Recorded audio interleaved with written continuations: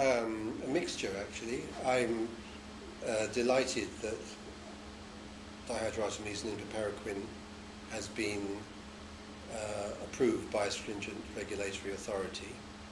On the other hand, I think it's taken far too long to get there. What's special about uh, Eurartesim, which is one of the currently available formulations of dihydroartemisinin piperaquine, um, I think this is a very good, it's a good drug.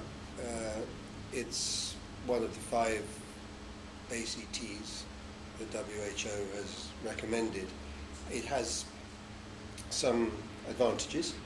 I think it's uh, very well tolerated, simple to give, has a rather long post-treatment prophylactic effect, so we don't see uh, breakthrough infections for many weeks, in fact, uh, more than a month, Uh, and Vivax relapse is suppressed for that time. So that's, that's, that's good.